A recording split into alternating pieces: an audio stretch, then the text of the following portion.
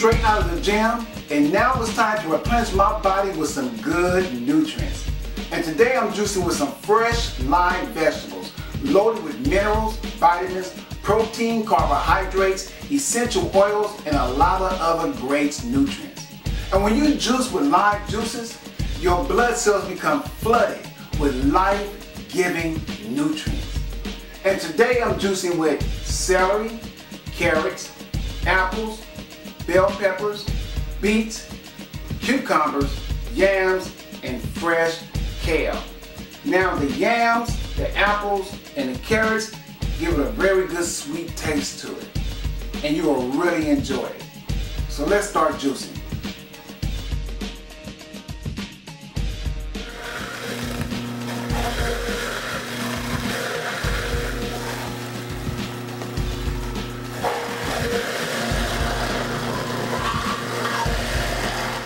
I like to strain my juice before drinking it because I don't like that thick pulse.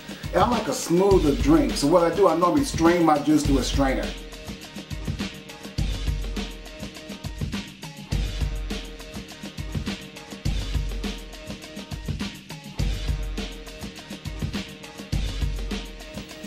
Here is the finished masterpiece.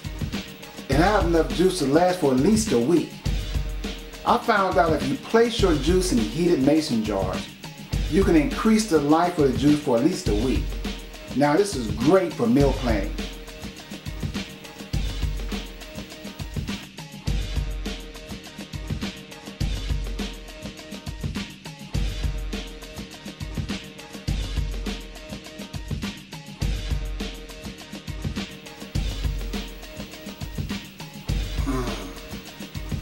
Now this is good, healthy, refreshing, and deserved elegance and served in a wine glass. Mm. People ask me all the time, how do you deal with having congestive heart failure knowing that your heart is only working at 30%? And I tell them I have peace.